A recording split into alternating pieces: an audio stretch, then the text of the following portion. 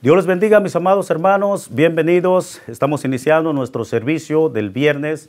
Esta es la iglesia Ríos de Agua Viva de la ciudad de Pomona, California. Eh, le damos gracias por estar con nosotros en esta tarde, a toda la congregación, a todos nuestros hermanos y a aquellas personas que nos ven en diferentes partes del mundo, por allá en España, saludos en Argentina, bendiciones en donde quiera que usted se encuentre en esta tarde de viernes. Le saludamos en el nombre precioso de nuestro Señor Jesucristo. La palabra del Señor dice en el libro de Habacuc, en el capítulo 3, versículo 17 y 18, aunque la higuera no florezca, ni haya frutos en las vides, aunque falle la cosecha del olivo y los campos no produzcan alimentos, aunque en el, en el aprisco no haya ovejas, ni ganado alguno en los establos. Dice él, Aún así, yo me regocijaré en el Señor, me alegraré en mi Dios, mi libertador. Habacuc, capítulo 3, versículo 17 y 18. Estamos iniciando nuestro servicio, estamos pasando momentos difíciles, no ha habido cumpleaños, no ha habido vacaciones, no ha habido Día de las Madres, no ha habido familia a nuestro lado, no ha habido amigos a nuestro lado, los hermanos a nuestro lado. Pero como Abacú dijo, con todo esto yo me alegraré y me regocijaré en el Dios de mi salvación, porque hace mis pies como de sierva y en las alturas me hace andar. Oramos, Padre, te damos gracias, Señor amado, en esta tarde preciosa por tu infinita misericordia, Señor, porque hasta aquí nos ha sustentado tu mano poderosa. Estamos iniciando este hermoso servicio y estamos declarando, Señor, en tu nombre poderoso, una bendición de lo alto. Venimos declarando sanidad, Señor. Venimos declarando fortaleza, prosperidad, Señor. Abre ventanas de los cielos y derrama una rica y abundante bendición sobre todo tu pueblo en esta preciosa hora, en el nombre poderoso de Jesucristo de Nazaret. Amén y amén. Ahora quiero invitarlo, amado hermano, ahí en su hogar, a que alabemos al Señor con estas hermosas alabanzas y nos preparemos porque ya el día de mañana, el pasado mañana, este domingo ya estaremos aquí en la casa de nuestro Dios alabando y glorificando el nombre de nuestro Dios y vamos a traer el grupo de la alabanza y vamos a alabarle ahí donde está. Te agradezco por amarme así, le diste valor a mi vida, Señor.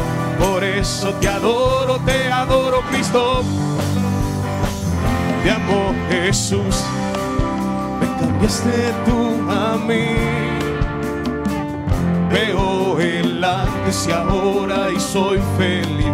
Te amo, Jesús te amo Jesús, me cambiaste tú a mí.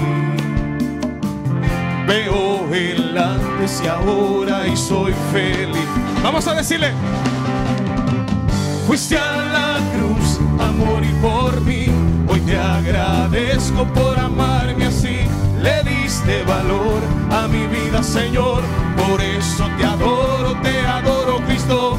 Fuiste a la cruz a morir por mí. Hoy te agradezco por amarme así. Le diste valor a mi vida, Señor. Por eso te adoro, te adoro, Cristo. Vamos a decirle, te amo, Jesús. Me cambiaste tú a mí. Veo el antes y ahora y soy feliz. Te amo, Jesús. Te amo, Jesús me cambiaste tú a mí. Veo el antes, veo el antes y ahora y soy feliz. Fuiste a la cruz, fuiste a la a morir por mí. Hoy te agradezco por amarme así. Le diste valor a mi vida, Señor. Por eso te adoro, te adoro, Cristo. ¿Alguien está agradecido con Jesús en esta mañana? que hace más de dos mil años dio su vida en la cruz del Calvario. ¿Cuánto damos un grito de júbilo? ¡Eres digno! Vamos a decirle a todos. Fuiste a la cruz a morir por mí. Hoy te agradezco por amarme así. le diste valor a mi vida, Señor. Por eso te adoro, te adoro, Cristo. Fuiste a la cruz a morir por. Vamos a decirle. Hoy te agradezco por amar. Hay alguien agradecido en esta mañana. A mi vida, Señor. Podemos levantar nuestra voz al Rey adoro, en adoración a Él. A la cruz, A morir. por mí. No los oigo. Te agradezco por amarme así. Le diste valor a mi vida, Señor. Por eso Una vez más, adoro, más te fuerte. adoro,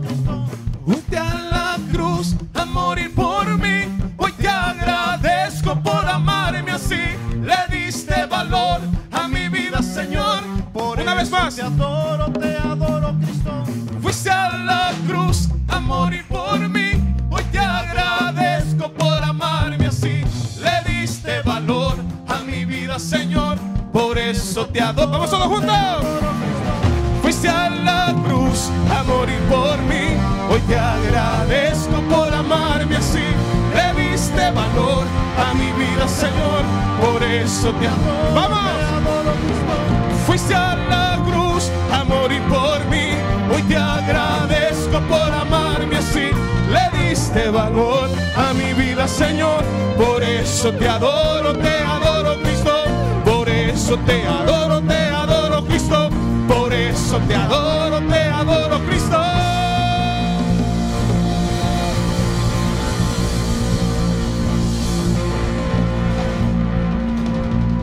¿Alguien lo adora en esta mañana? Fuiste a la cruz a morir por mí.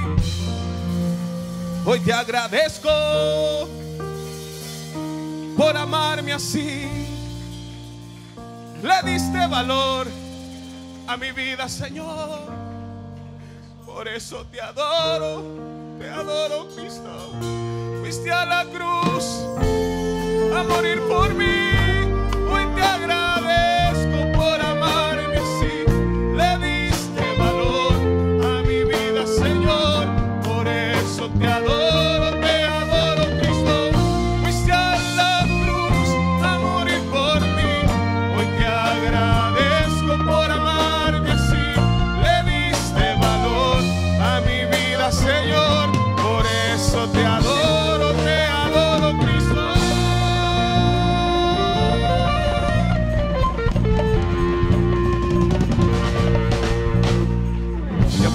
Sentir algo especial en esta mañana. Digno, digno. Dale. Dale palmas a Él.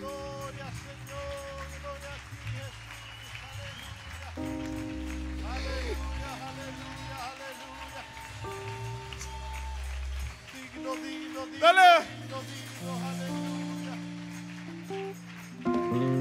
Dale palmas.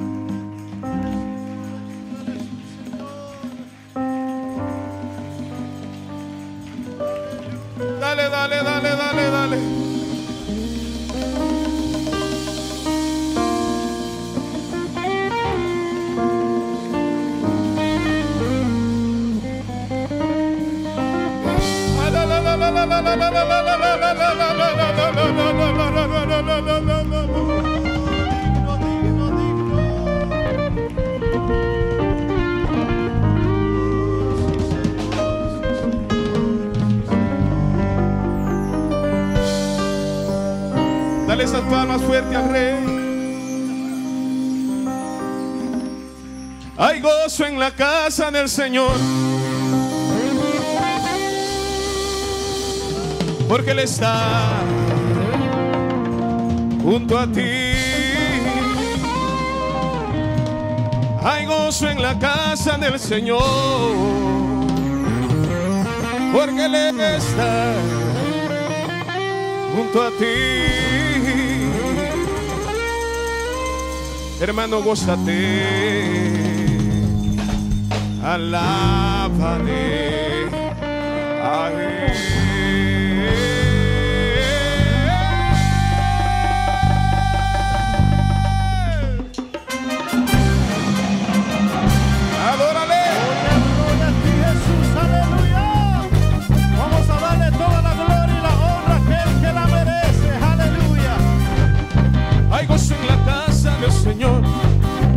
está junto a ti.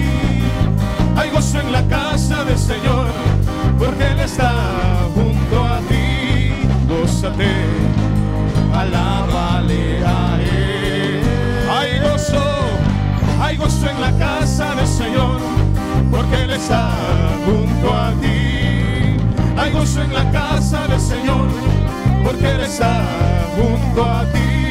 Gózate a Él. Grita, grita, canta delante de su presencia. Grita, canta delante de su presencia. Gózate y alábale a Él. Grita.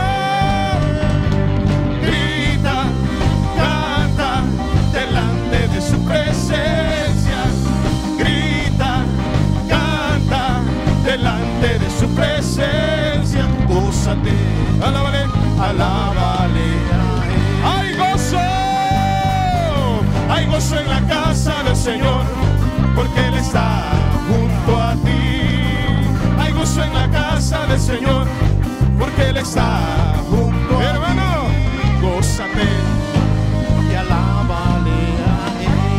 Grita, grita, canta delante de su presencia. Grita, canta delante de su presencia. Gózate y alábale a Él muchas formas de alabar su nombre y de exaltarte, oh Jehová. Hay muchas formas de glorificarte, pero ahora lo haré así. Remolineando, remolineando, celebraré a Jehová.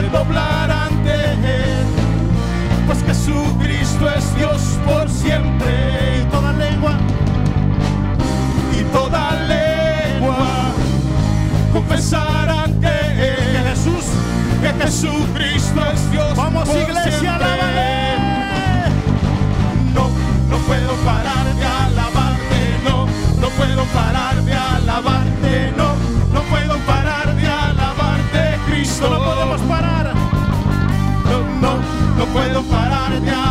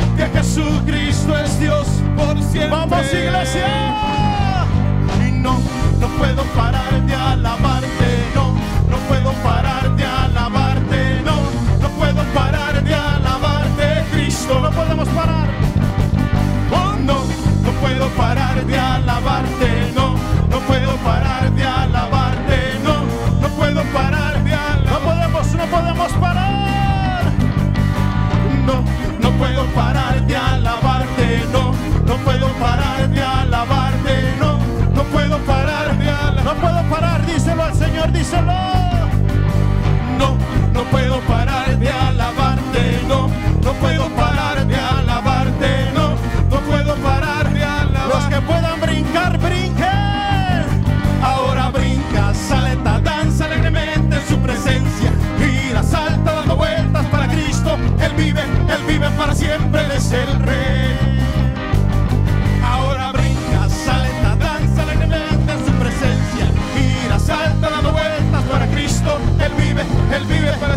Vamos iglesia, díselo. Ahora brinca, salta, danza alegremente en su presencia. Gira, salta, dando vueltas para Cristo. Él vive, Él vive Una vez más, díselo. el Rey. Ahora brinca, salta, danza alegremente en su presencia.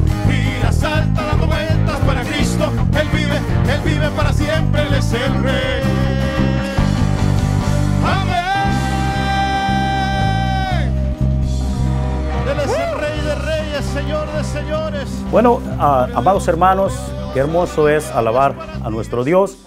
Hemos sentido la presencia del Señor a través de la alabanza.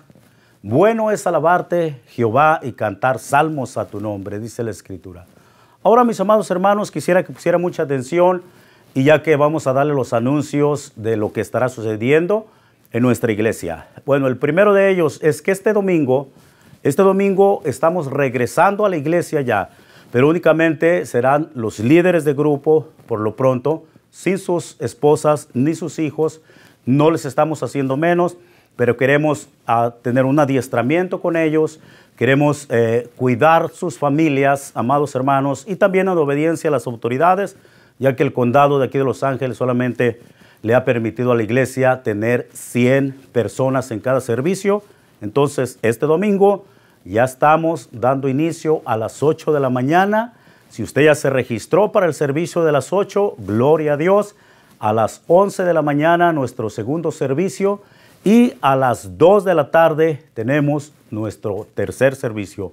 100 líderes, 100 personas únicamente por servicio. Así que por aquí los esperamos y si usted ya tiene su registración. Bueno, mis amados hermanos, el, el siguiente de los anuncios es los grupos de amistad. Ya estamos iniciando en los hogares también. Ya estamos regresando a nuestros grupos de amistad en los hogares. Únicamente queremos recordarles que esto es voluntario.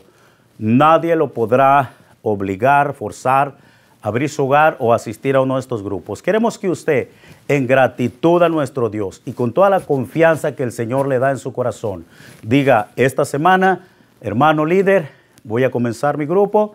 Usted como miembro, esta semana, que se proponga en su corazón, pero voluntariamente, que le diga, Señor, en ti confiamos y yo voy a alimentar mi alma ahí en el grupo de amistad con mis hermanos.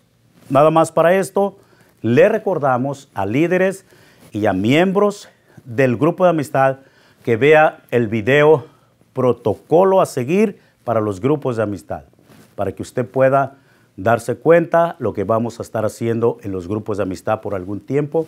O si usted tiene una pregunta, si no entiende el video, puede llamar aquí a la iglesia al 909-397-0581 o bien hablar a su líder de distrito, a su líder de zona y ellos le van a estar compartiendo esta información. Así que ya sabe, todos a nuestros grupos de amistad, a gozarnos en la presencia de nuestro Dios. También queremos recordarles que en junio 7 es un día jueves y vamos a estar iniciando el curso Cómo comenzar la carrera. Para los hermanos que estaban tomando esta clase, que no pudieron terminarla, vamos a estar continuando este 7 de junio aquí a la iglesia a las 7 de la tarde. Usted va a venir un día jueves y cada jueves vamos a estar impartiendo esas clases tan especiales del curso Cómo comenzar la carrera. Si usted es una persona que está interesado en conocer más de Dios, en acercarse, en tener una relación más, más cercana, más conocimiento de la Biblia, del Señor Jesucristo, debido a los tiempos que estamos viviendo, venga sin ningún compromiso. Inscríbase para estas clases. Jueves 7 de junio es la primera de las clases aquí en las instalaciones de la iglesia a las 7 de la tarde y usted solamente tiene que llamar o inscribirse con su líder de grupo, su líder de distrito o su líder de zona. Así que por aquí los esperamos. Y luego, en la fecha del jueves 18, jueves, jueves 18 de junio, jueves 18 de junio, queremos invitar a todos los jóvenes que se han graduado eh, en esta clase eh, del 2020 y que no pudieron tener, debido a la situación, su fiesta de graduación, su cena, su, su fiesta con sus amigos, con su familia, no pudo tener su graduación. Bueno, la iglesia les va a estar haciendo una celebración, una graduación para todos los jóvenes que se graduaron de la high school en este 2020. Así de que eh, llame para inscribirse, la fecha es el 18 de junio, pero para esto usted tiene que inscribirse. Inscribiéndose usted puede traer dos acompañantes con usted, ya sea su papá, su mamá, dos amigos, dos familiares para que estén por aquí en la fiesta. Es una cena, una sorpresa que tiene la iglesia para todos los jóvenes que se graduaron en este año, para felicitarlos, para orar por ustedes, para que Dios los siga guiando en sus estudios. Así que todos los jóvenes eh, que se graduaron en este año, la iglesia tiene una celebración una graduación cristiana muy especialmente para ustedes. Por aquí los esperamos. Y por último, mis amados hermanos, solamente queremos recordarle la oración de las, de las mañanas. De lunes a viernes está nuestro pastor y su esposa de 6 de la mañana a 7 de la mañana, desde ahí, desde su hogar, haciendo esa oración, intercediendo, Y invitamos, seguimos invitando a todos aquellos hermanos que se unen en esa hora a que lo sigan haciendo, hermano. Ponga sus peticiones. Estamos orando, estamos mirando milagros en el nombre del Señor Jesucristo. Ahí está nuestro pastor intercediendo por el pueblo, por las familias, por las necesidades. Recuerde, de lunes a viernes de 6 a 7 de la mañana y los sábados aquí en la iglesia continuamos de 6 a 7 de la mañana también. Así que los esperamos. También por último, solamente recordarles de las actividades de la iglesia. Tenemos actividades desde el día martes. Los jóvenes están teniendo su serie en inglés.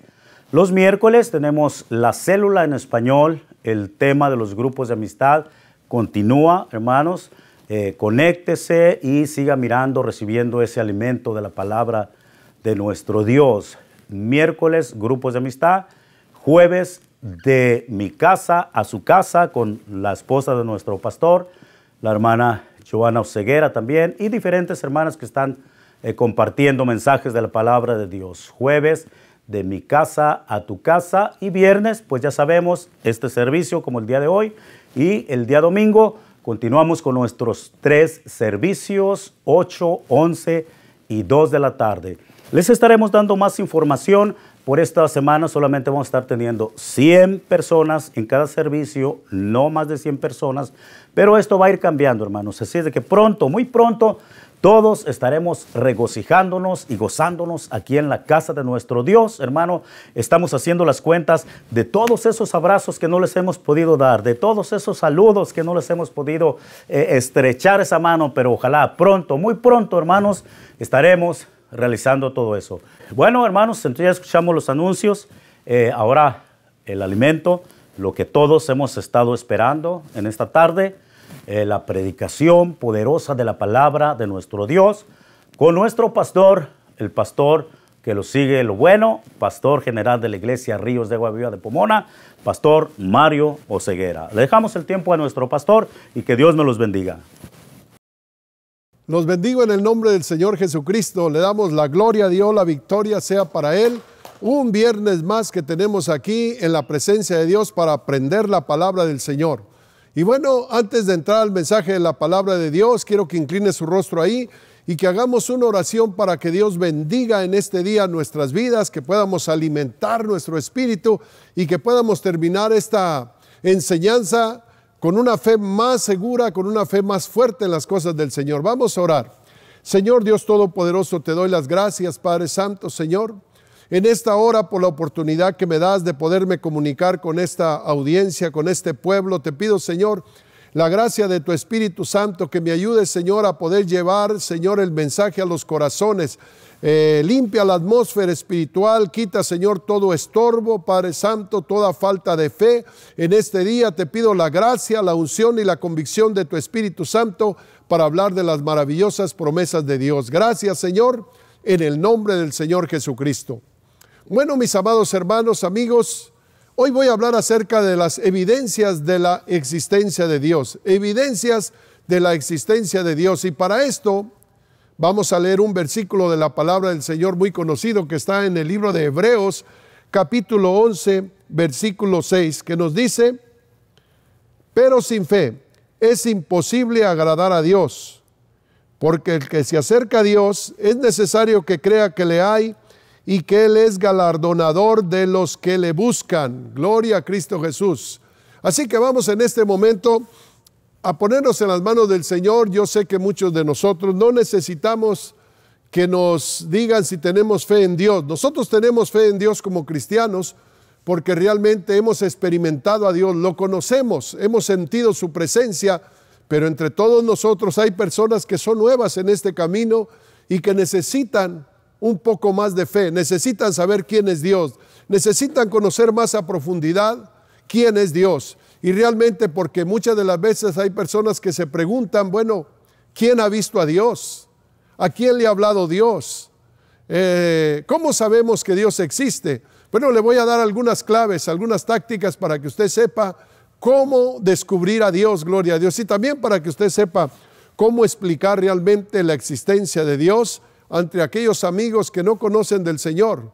Porque Dios se ha manifestado a los hombres, pero muchas de las veces no sabemos las formas de manifestación de Dios hacia los hombres. Así que tenemos un número muy grande de personas que quizás no conocen a Dios o quizás son nuevas en esta plataforma de Internet y ellos necesitan saber realmente quién es Dios. Y vamos a hablar un poquito de la existencia de Dios. Yo sé que muchos de nosotros ya lo hemos conocido. Yo lo conocí hace algunos años y por eso estoy sirviéndole al Señor. Para nosotros no es un problema la fe en Dios, pero hay otras personas que necesitan fe en el Señor. Y no solamente eso, yo le voy a pedir que anote porque vamos a tener muchos versículos de la Biblia, pues vamos a tener un estudio que nos va a edificar grandemente a través de, esta, de este mensaje de la palabra del Señor. Bueno, por ejemplo, Conocer a Dios no es cosa de que hay que ver milagros, prodigios y maravillas, no. Usted no necesita más que creer solamente en Dios, porque dice la Biblia, porque sin fe es imposible agradar a Dios.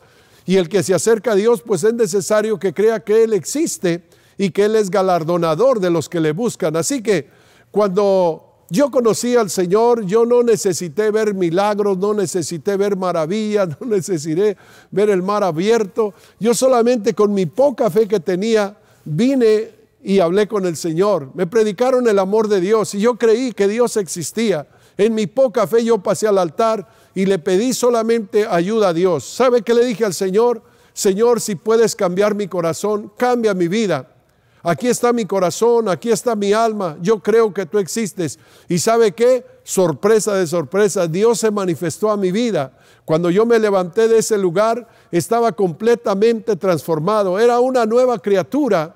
Así que usted no necesita realmente oír todos 10 mensajes para poder este, ejercer su fe en Dios. Simplemente usted con su poca fe Usted se va a acercar a Dios confiadamente y Dios va a obrar milagros y maravillas. Pero Dios quiere que a cada día nosotros lo conozcamos más y más. Y quiero explicar algunos puntos. En el punto número uno, quiero hablar de la clave para creer en la existencia de Dios. Bueno, como ya lo hemos escuchado, la clave para poder creer en la existencia de Dios, la clave es fe. La fe. ¿Por qué? La fe dice la Biblia que sin fe es imposible agradar a Dios. Así que cuando nos acercamos a Dios con fe, sabemos que ya estamos agradando a Dios porque es necesario que el que se acerca a Dios, es necesario que crea que Él existe y que Él es galardonador de aquellos que le buscan. Dios es el creador del universo. Dios tiene control de todas las cosas y Dios quiere que nosotros lo conozcamos a Él.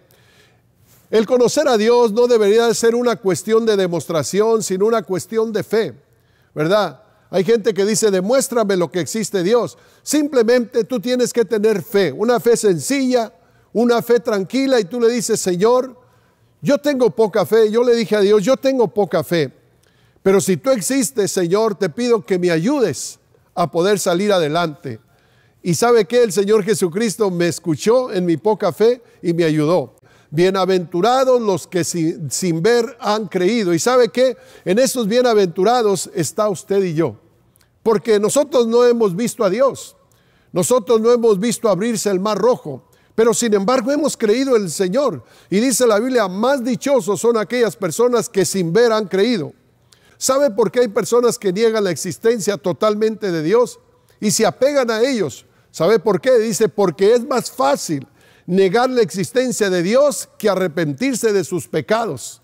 Es más fácil decir Dios no existe porque ellos no se quieren arrepentir de sus pecados, no quieren abandonar su estilo de vida, no quieren, hermanos, confesarle a Dios su vida pecaminosa y prefieren seguir en la oscuridad de sus delitos y, de sus pecados negando a Dios porque su conciencia les taladra y no quieren reconocer a Dios. Y dice la palabra de Dios claramente en el libro de San Juan capítulo 3 verso 19 y 20 y dice, y esta es la condenación, que la luz vino al mundo, pero el mundo, pero el mundo no lo conoció, dice, que la luz vino al mundo y los hombres amaron más las tinieblas que la luz porque sus obras eran malas. ¿Sabe por qué la gente vive en las tinieblas? ¿Por qué no quiere confesar sus pecados? ¿Por qué dice que Dios no existe? Porque sus obras son malas, porque llevan caminos perversos. Dice, porque todo aquel que hace lo malo aborrece la luz y no, y no viene a la luz para que sus obras no sean manifiestas.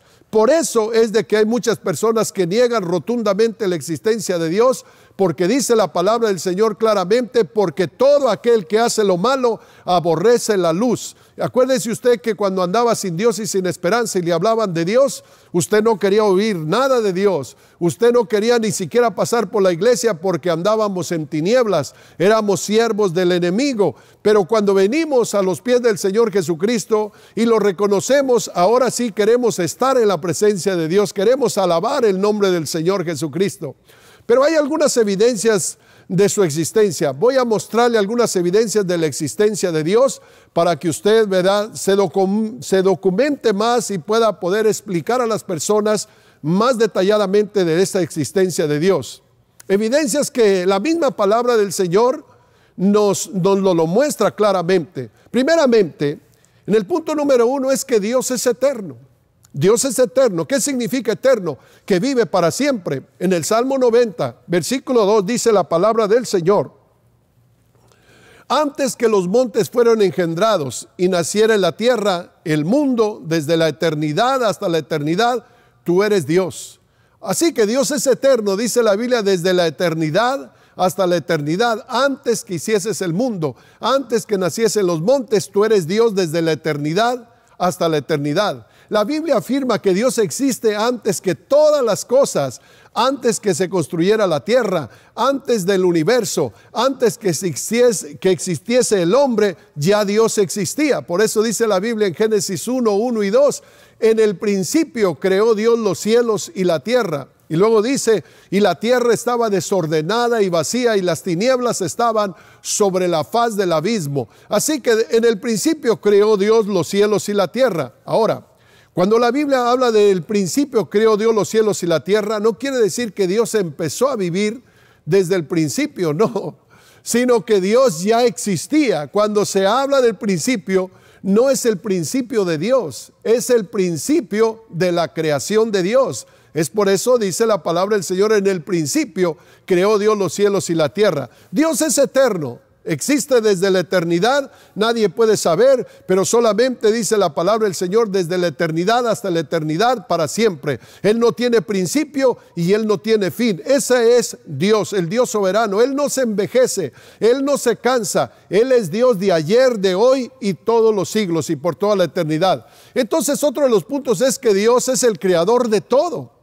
Dios creó los cielos, Dios creó la tierra. Usted lo puede ver allí en el capítulo 3 del libro, en el capítulo 1, perdón, del libro de Génesis, desde el versículo 3 en adelante, usted va a mirar en la Biblia toda la creación de Dios y algunos capítulos más para adelante, dice la palabra del Señor que Dios hizo los cielos, Dios hizo los mares, Dios hizo el sol, Dios hizo la luna, Dios hizo las estrellas, Dios hizo la noche, Él hizo el día, los animales, el campo, las plantas, los peces, todo ser viviente que se mueve sobre la tierra, Él lo hizo y también hizo al hombre a su imagen conforme a su propia semejanza, porque Dios es el creador de todas las cosas. Mire, le invito a que busque en Isaías capítulo 45, versículo 18, lo que nos dice aquí la palabra del Señor. Isaías 45, 18 nos dice ahí, porque así dijo Jehová, que creó los cielos. Él es Dios, el que formó la tierra, el que lo hizo y compuso. No la creó en vano, para que fuese habitada la creó. Yo soy Jehová y no hay otro. Ahí lo tenemos la creación de Dios. Él hizo la creación de Dios. Él la creó, Él la hizo, Él la formó. Hermanos, en Colosenses capítulo 1, versículo 16, me gusta este versículo porque Pablo habla a profundidad la creación de Dios porque en Él fueron creadas todas las cosas, las que hay arriba en los cielos, las que hay en la tierra, visibles e invisibles, sean tronos, sean dominios, sean principados, sean potestades, todo fue creado por medio de Él y para Él. ¿Qué le parece? Toda la creación le pertenece a Dios. Entonces, si usted conoce a Dios, entre más conoce a Dios, usted más confianza va a tener en Dios. Cuando usted conoce poco de Dios, usted tiene muy poca fe en Dios. Cuando una persona conoce la grandeza de Dios, el poder de Dios, entonces se atreve a pedirle cosas grandes a Dios. Por ejemplo, hay un, un ejemplo. Una persona conoce poco a Dios y dice, Señor, tiene un hijo perdido, Señor, yo te pido que salves a mi hijo. Señor, dale, Señor, su salvación. Y está bien que usted pida que su hijo se salve. Usted puede decir, Señor, ayúdame a poder terminar bien en este mes, Señor, que me alcance para la renta. Y está bien que usted le pida a Dios así. Sus oraciones son pequeñas porque usted conoce un Dios pequeño. Pero cuando usted conoce un Dios grande, entonces, como dice alguien, se sirve con la cuchara grande. Usted le pide cosas grandes a Dios, usted le pide cosas poderosas a Dios. En lugar de decirle a Dios, Señor, salva a mi hijo, ah, ¿por qué no pedirle, Señor, yo te pido que salves a mi hijo y que sea un grande predicador, un gran profeta, Señor, que viaje por todas las naciones? ¿Sabe qué? Usted le está pidiendo a Dios un milagro grande y Dios es un Dios grande. En lugar de decirle a Dios, Señor, ayúdame a salir el mes, no, usted dígale, Señor, yo te pido que este mes tú abras las ventanas de los cielos y derrames de tus bendiciones hasta que sobreabunden. Quiero ayudar a mis hermanos, quiero ser de bendición para otros. ¿Sabe qué? Eso le va a agradar a Dios. ¿Por qué le va a agradar a Dios? Porque usted lo está mirando como un rey soberano, como un rey que lo suple todo, como un rey que es grande en poderío, en misericordia. Por eso es que hay que pedirle cosas grandes también al Señor. Entonces, voy a explicarle, hermanos, siete maneras diferentes para conocer a Dios, siete diferentes maneras de cómo se ha de manifestado Dios a los hombres, cómo conocer a Dios. Así que ponga mucha atención porque este estudio bíblico nos va a edificar a todos y vamos a seguir adelante, vamos a seguir aprendiendo. La primera manera en la cual Dios se manifiesta a los hombres, los hombres oyeron su voz. Así, hay personas que dicen, ¿quién ha, ¿quién ha, visto a Dios? ¿Quién ha oído a Dios? Déjeme decirle que la Biblia nos habla que los hombres oyeron la voz de Dios audible. Pues, ¿qué dice en Génesis capítulo 3? Cuando dice la palabra del Señor que, que Dios se paseaba en el huerto del Edén y de repente le habló a Adán y le dijo, Adán, ¿dónde estás? Y entonces Adán le contestó y dice la palabra del Señor, tuve miedo y me escondí porque oí tu voz. Quiere decir que Dios habló a los hombres con voz audible, gloria a Dios. Así dice la palabra del Señor ahí en el libro de Génesis capítulo 6 del 11 en adelante. Y se corrompió la tierra, dice, delante de Dios y estaba la tierra llena de violencia. Y luego dice, y miró Dios la tierra y he aquí que estaba corrompida, porque toda carne se había, se corrompido. Y dice la palabra del Señor que Dios le le pesó en su corazón ver hecho al hombre, hermano, porque todo el hombre se había corrompido. Entonces, ¿qué fue lo que hizo Dios? Oiga, en el versículo 13 dice, dijo pues Dios a Noé, he, decidido el fin de todo ser viviente porque la tierra está llena de violencia a causa de ellos. ¿Sabe qué? Entonces Dios habló y con voz audible. Ahora Dios no nos habla con voz audible, aunque también lo puede hacer. ¿Por qué? Porque ya su voz es la palabra del Señor. Pero en aquel entonces que no había una Biblia, entonces Dios les hablaba audiblemente, así le habló a Adán, así le habló a Noé audiblemente y le dijo, Noé, he decidido el fin de todas las cosas porque la tierra está corrompida. Hermano, los hombres se habían corrompido y el Señor dice la Biblia que ahí le puso bien a la historia, pero le habló a Noé antes de destruir la tierra para que Noé, hermano, preparara el arca. Le dijo, hazte un arca de madera de gofer Harás aposentos en el arca y la calafetearás con brea por dentro y por fuera. Y dice en el versículo 15, y de esta manera lo harás. Así que Dios le dio las medidas, Dios le habló directamente a Noé. Noé oía la voz del Señor, hermanos. Así que Dios se ha manifestado por medio de su voz. En Mateo capítulo 3, versículo 16 y 17 nos dice ahí la palabra del Señor. Oiga, dice, y Jesús después que fue bautizado subió luego del agua. Y aquí los cielos le fueron abiertos y vio el Espíritu de Dios que descendía como paloma y venía sobre él. Y oiga lo que dice el versículo 17. Y hubo una voz del cielo que decía, este es mi Hijo amado en quien tengo complacencia Muchos oyeron la voz de Dios, directamente una voz desde el mismo cielo. Y no dice, la, no dice la gente quién ha visto a Dios, quién ha oído a Dios. Mire también ahí en Mateo capítulo 17, versículo 5, mientras él aún hablaba, una nube los cubrió. Y he aquí una voz del cielo de entre las nubes que decía, este, otra vez, este es mi Hijo amado en quien tengo placer o en quien tengo complacencia a él oíd, gloria a Cristo Jesús. Entonces, ¿han oído los hombres la voz de Dios? Claro que la han oído. Audiblemente, la han oído audiblemente. Porque en Hechos capítulo 9, versículo 3 al 4 nos dice ahí la palabra del Señor, oiga, mas yendo por el camino, aconteció que al llegar cerca de Damasco, repentinamente le rodeó un resplandor de luz del cielo. Esto era el apóstol Pablo, antes de convertido, Dios le habló directamente con una voz tronante desde el cielo y dice, cayendo en tierra, oyó una voz que decía, Saulo, Saulo, ¿por qué me persigues? Dura cosa te es dar cosas contra el aguijón. Y ahí Dios le habla directamente a Pablo y lo lleva y le dice por qué camino tenía que andar, dónde iban a orar por él, dónde él iba a recibir la vista, quién lo iba a bautizar. Así que Dios le habló directamente a los hombres. Ahora los hombres no solamente oyeron su voz, sino que los hombres también vieron la gloria de Dios. En Éxodo capítulo 24, versículo 9 al 11, mire lo que dice la palabra del Señor. Éxodo 24 del 9 al 11 nos dice ahí, y Moisés subió al monte con Aarón, con Adad, Abiú y 70 ancianos de Israel. Verso 10. Ahí vieron al Dios de Israel. Bajo sus pies había algo brillante como un piso de zafiro y claro como el mismo cielo. Estaban mirando realmente la gloria de Dios. Dios no les hizo daño a estos hombres nobles de Israel, los cuales, ¿verdad? Miraron la gloria de Dios, vieron a Dios y comieron y bebieron con Él. Entonces hay gente que ha visto a Dios, claro que ha visto a Dios, quizás en su esencia, porque Él es espíritu, no lo podemos ver, pero en forma angelical hubo muchos hombres que miraron la gloria de Dios, que miraron a Dios. Como en Segunda de Crónicas capítulo 7, versículo 1, nos dice ahí la palabra del Señor acerca de Salomón y dice, cuando Salomón acabó de orar, descendió fuego de los cielos y consumió el holocausto y las víctimas y la gloria de Jehová llenó la casa. Entonces, miraron la gloria de Dios, claro, la gloria de Dios llenó toda la casa. Y Dios, hermanos, se ha mostrado por medio de su gloria, como también se lo demostró a Daniel en el capítulo 7, versículo del 9 al 10. Dice, estuve mirando hasta que fueron puestos tronos y se sentó un anciano de días. Aquí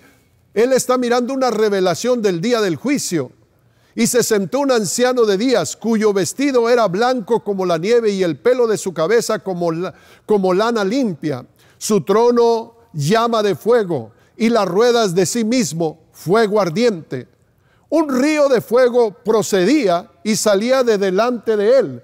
Aquí miramos el aspecto de aquel personaje que miró un río de fuego procedía y salía de delante de él millares de millares le servían y millones de millones le asistían delante de él. Gloria a Dios. Estaba mirando la gloria de Dios donde millones y millones de ángeles le asistían y millones, hermanos, estaban a su lado y alababan el nombre del Señor. Y luego dice la Biblia, y el juez se sentó y los libros fueron abiertos. Esto es el día del juicio, porque todo lo que nosotros hagamos, hermanos, sea bueno, sea malo, está escrito en un libro. Y en ese día se abrirán los libros, el libro de la vida y el libro también, hermanos, de aquellos que pecaron contra Dios y nunca se arrepintieron. Aquellos hombres entonces definitivamente vieron la gloria de Dios. Daniel miró la gloria de Dios. Hermano Salomón miró la gloria de Dios. Pero no solamente eso. Número tres, Dios se ha dado a conocer por medio de la creación. Porque los cielos cuentan la gloria de Dios. La Biblia dice en el Salmo 33, versículo 6, así de esta manera, gloria a Cristo Jesús. Por la palabra del Señor fueron hechos los cielos y todo el ejército por el aliento de su boca. Entonces Dios es el creador de todas las cosas. En el Salmo 19, versículo 1, un versículo muy conocido, los cielos cuentan la gloria de Dios y el firmamento anuncia la obra de sus manos. Aquí está el cielo es un testigo de la obra de Dios, de un Dios creador. Al mirar las estrellas, al mirar, hermano, la inmensidad de este universo, al observar las maravillas de la, de la naturaleza, usted se da cuenta que hay un Dios creador, gloria a Cristo Jesús. Al ver una puesta de sol, por ejemplo, una noche tapizada de estrellas. Yo no sé si usted ha salido algún día por la noche y usted mira esa noche tapizada de estrellas, hermano, ¿sabe quién puso las estrellas ahí? Fue un Dios creador. Al mirar la nieve, al mirar la lluvia, al mirar una flor, al mirar un pajarillo cantando, vemos que todos estos apuntan a un creador y este es el creador Dios Todopoderoso. Así que hermanos, el planeta no está abandonado. Ahí el Espíritu de Dios se mueve sobre su iglesia, se mueve sobre aquellos que le claman, hermanos, aleluya. Si esto no fuera suficiente que tú creas en Dios, entonces la palabra del Señor nos habla en Eclesiastés capítulo 3, versículo 11 nos dice que Dios ha puesto eternidad en el corazón de los hombres. Dios ha puesto eternidad en el corazón de los hombres. Le hago una pregunta, mire, antes de que nosotros conociéramos al Señor, de todas maneras, por instinto nosotros sabíamos que había un Dios creador.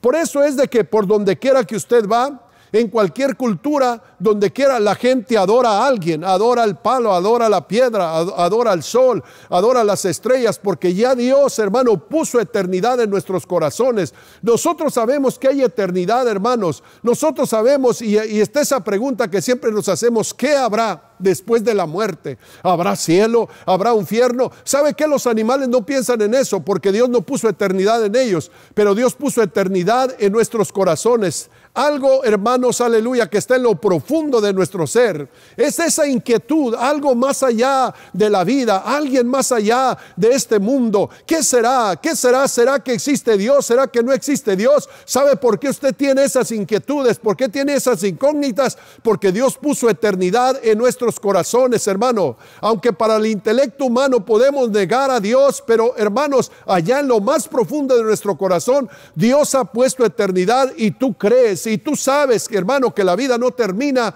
cuando te mueres, hermano, porque hay eternidad en el corazón de tus hijos. Aunque la Biblia nos dice en el Salmo 14, dice el necio en su corazón, no hay Dios. Pero sabe que no hay Dios para él, porque ellos no quieren creer en Dios, pero para nosotros los que hemos creído, Dios es real, Dios es poderoso, Dios existe. Todas las personas a lo largo de la historia, en todas las culturas, escuche, en todas las culturas, en todas las civilizaciones, en todos los continentes, todos creen en algo. Todos creen que existe algún Dios.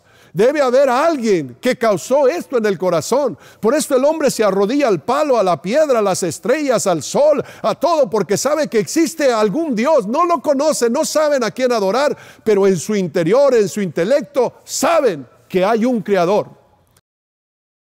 Otro de los puntos es que los hombres vieron su manifestación por medio de nuestro Señor Jesucristo.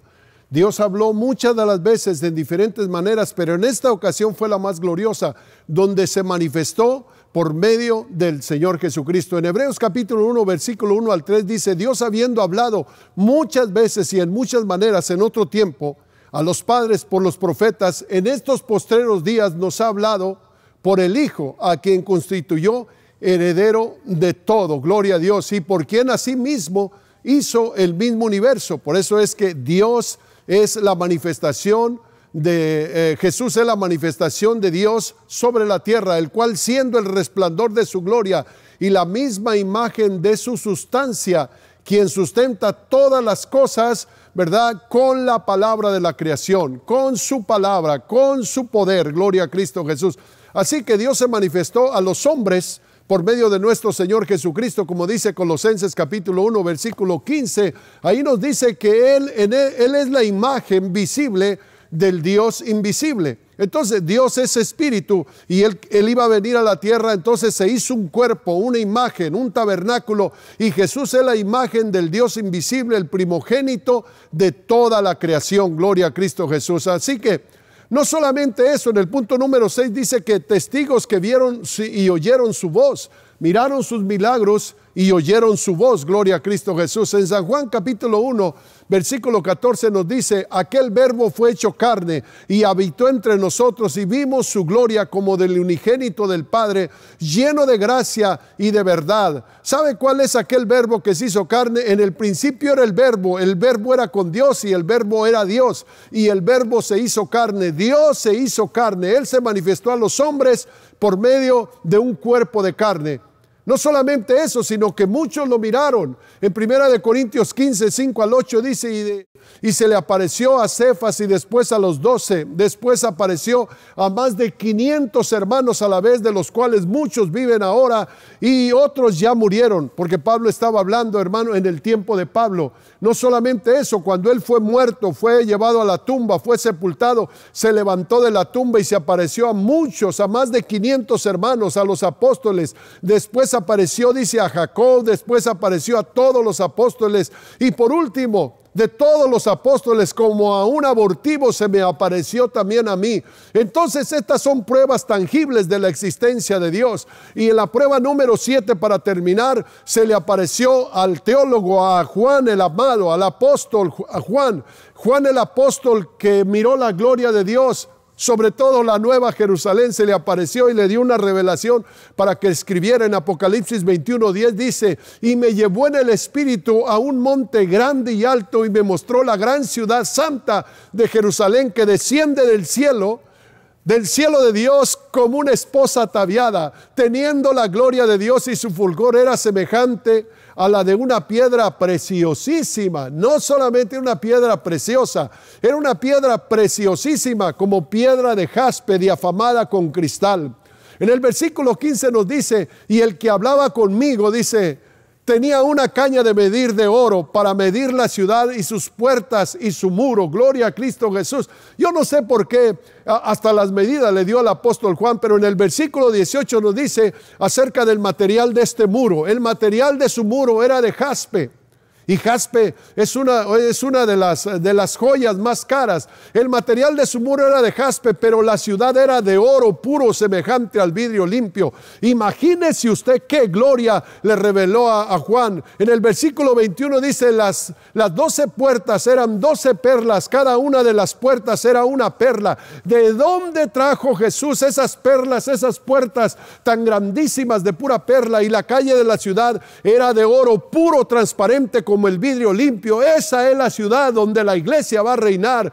Y en esa ciudad dice la Biblia que no hay sol porque la gloria de Dios la ilumina, porque Jesús es la luz del mundo. Jesús con su presencia ilumina toda aquella ciudad. La gloria de Dios cubre toda la ciudad. Así que mi amado amigo, le invito para que no vaya a encontrarnos el Señor como encontró al apóstol Tomás que le dijo, eh, Tomás no seas incrédulo sino fiel, bienaventurados los que no vieron y creyeron. Y bienaventurado es usted porque no hemos visto nosotros con nuestros ojos literales, pero lo creemos, lo confirmamos, lo confesamos que la eternidad nos espera, que Dios existe, que Dios nos ama, que Dios nos cuida, que Dios nos protege y Él espera de cada uno de nosotros que lo reconozcamos como nuestro abogado, como nuestro salvador, como nuestro eh, libertador. Oremos para que el Señor Jesucristo, hermanos, se mueva en este momento y que en este momento las almas reciban al Señor Jesucristo, porque hay gloria, hermanos. Esto no es todo. Aquí en esta tierra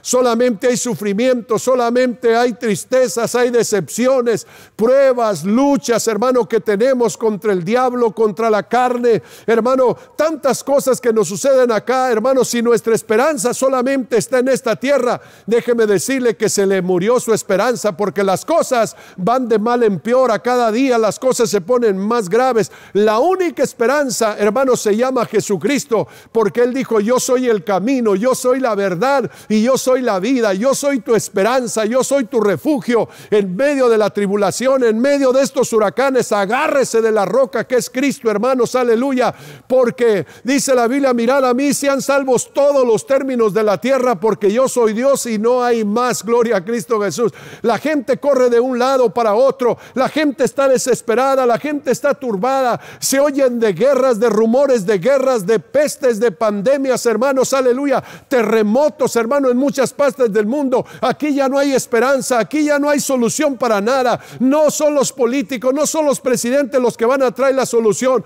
El único que te puede dar la paz y no es una paz, global, no es una paz, hermanos, eh, mundial, es una paz individual, hermano. Mi paz os dejo, mi paz os doy. Yo no la doy como el mundo la da. No se turbe vuestro corazón y tenga miedo. En la casa de mi Padre muchas moradas hay, hermano. El Señor nos está esperando y cuando dice la Biblia que hay muchas moradas, es que hay muchísimas moradas, hermano. ¿Sabe qué, mi amigo? Hay un lugar para usted, hay una ciudad para usted, hay una casa para usted, hermano, donde las calles son de oro, los mares como el cristal, hermano, transparente, los muros de la ciudad son de jaspe, hermano, los muros son de oro puro, gloria a Cristo Jesús. Y no es que estoy solamente dándole una emoción, la palabra del Señor lo dice y la Biblia dice, lo que está escrito de mí tiene cumplimiento. Así que, hermanos, aleluya, no nos pongamos, hermanos, en este mundo a esperar las cosas de este mundo, que tu fe no esté en las riquezas, que tu fe no esté en tu casa, que tu fe no esté en el hombre, que tu fe sea el Señor Jesucristo, porque un poquito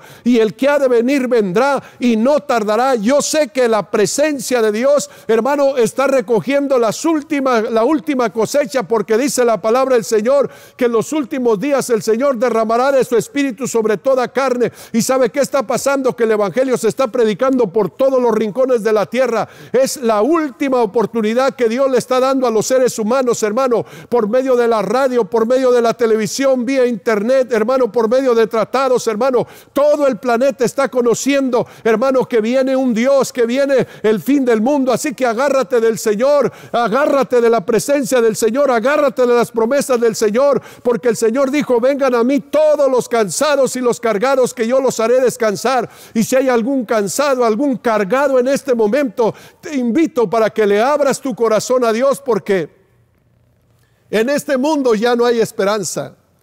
En este mundo hay que tocarle las golondrinas porque este mundo se está acabando, se está hundiendo, este gran Titanic se va a acabar. Lo único es Cristo, porque antes de que venga el fin de todas las cosas, sucederá el rapto de la iglesia. Una de estos días te vas a dar cuenta que se van a bloquear los noticieros, que se van a, hermano, bloquear todas las pantallas del mundo y de repente van a decir que ha desaparecido mucha gente de la tierra. ¿Sabes qué? Hermanos, es el rapto de la iglesia que el Señor Jesucristo viene por su iglesia. Todas las señales están cumpliéndose, Señor, las profecías se están cumpliendo. Así que si te vas a santificar, santifícate ya. Si te vas a bautizar, ya bautízate. Si te vas a arrepentir, arrepiéntete ya. Si vas a dejar el adulterio, adul deja el adulterio ya. Si, si vas a venir a los pies de Cristo, ya no juegues más, ya no hay esperanza, ya no hay una oportunidad más. Esta es tu última oportunidad, hermano, amigo que me estás escuchando. Yo no sé cómo está llegando este mensaje, pero sabes que Dios te ama, Dios te conoce, Dios sabe quién eres, Dios conoce hasta los cabellos de tu cabeza, Dios conoce tus pensamientos desde lejos, Él sabe que lo necesitas y por eso me ha enviado aquí para predicarte que conozcas al Rey de Reyes y Señor de Señores. Así que le damos mil gracias a Dios por esta oportunidad que nos da. Yo estoy contento, no me espanta lo que está pasando, porque ya el Señor proféticamente lo había dicho. Oiréis de guerras y rumores de guerras. Se levantará reino contra reino, nación contra nación. Habrá pestes, habrá hambres, habrá terremotos en diferentes lugares. El Evangelio será predicado por todo el mundo para testimonio a todos los hombres y entonces vendrá el fin. Y eso es lo que está sucediendo. Así que en este momento dale tus cargas, tus ansiedades, tus temores a Dios porque dice la Biblia, mas el que me oyere habitará tranquilamente, vivirá seguro y sin temor ni quien le espante el sueño. Así que en este momento vamos a ponernos de pie en esta hora, iglesia, y vamos a abrir nuestros corazones al Señor. No solamente aquellas personas que no le han dado el corazón a Jesucristo necesitan un arrepentimiento, sino que hay personas que aún están en la iglesia y ellos saben que se van a quedar a la gran tribulación si no se arrepienten. Porque Dios viene por una iglesia limpia, pura, santa, sin mancha y sin arruga. Por eso la Biblia nos dice, hermanos, el que sea santo, santifíquese más todavía. El que sea puro, purifíquese más todavía. Es un tiempo de santificación, de purificación. Es un tiempo de levantarnos de la, del estancamiento, de levantarnos de esa tibieza, de sacudirnos el polvo y ponernos en las manos del Señor y volver en sí, decir, Señor, aquí estoy, necesito tu presencia. Así que vamos a cerrar nuestros ojos y le voy a pedir a usted que me está escuchando, que ya ha escuchado algunos otros mensajes o quizás es el primer mensaje que esté escuchando en esta preciosa hora. Yo le voy a pedir que haga esta oración conmigo si usted quiere entregarle la vida al Señor Jesucristo. Si usted quiere ir a la patria celestial, si usted quiere ver las calles de oro, si usted quiere ver esos inmensos rascacielos hermosísimos, donde la eternidad nos espera por los siglos de los siglos de los siglos. Allá no hay más muerte, no hay más llanto, no hay más dolor, no hay más tristeza, no hay amargura, no existe el diablo. Allá seremos como los ángeles, dice la palabra del Señor. Vale la pena servir a Dios. Cierra tus ojos y vamos a hacer esta oración. Si tú le quieres entregar tu corazón a Jesús, quiero guiarte en esta oración y que tú le digas así. Dios Todopoderoso, te doy gracias por ayudarme a escuchar lo que he escuchado en este día. Te pido, Señor, que tú tomes este corazón y que me laves, Señor, de todo pecado, que quites toda maldad de mi corazón, que me des, Señor, un nuevo corazón. Necesito empezar contigo. Perdona todos mis pecados, me arrepiento de todas mis maldades, Señor. Tu palabra dice, Señor, que tú no echas fuera a los que vienen a ti. Y en este momento yo vengo a ti, Señor, pidiéndote, Señor, que me laves, que me limpies, que me santifiques. Señor, quiero empezar una vida nueva. En el nombre de Jesús, que tu Espíritu Santo venga a mi vida. Entra a mi corazón, Señor. Y dame tu Espíritu Santo para vivir una vida limpia delante de ti. En el nombre de Jesús de Nazaret. Gracias, Señor. Ahora lloro por ti, Señor Dios Todopoderoso. Te doy gracias por estas almas que se acaban de entregar a ti, Señor. Te pido, Señor, que este sea el principio, Señor, de una grande fiesta hasta la eternidad, Señor. Bendice a mis hermanos, aquellos que se habían salido del camino, aquellos que se habían enfriado en este camino, que se habían cansado, que pensaban retornar atrás. En este momento te pido que los bendigas, que el fuego de tu Espíritu Santo vuelva a sus corazones, Señor. Perdona todos sus pecados, restáuralos y dales una bienvenida a la casa del Padre. En el nombre de Jesús de Nazaret. Amén. Gracias, Señor. Bueno, mis amados hermanos, amigos, no se aparte de este canal, así que vamos a estarle dando más alimento y ya este próximo domingo vamos a tener algunas reuniones con los líderes para darles más instrucción. Estamos orando para que en unas dos o tres semanas ya toda la iglesia, si Dios lo permite, podamos estar acá todos juntos. El Señor los bendiga y nos vemos el domingo a las 11 de la mañana.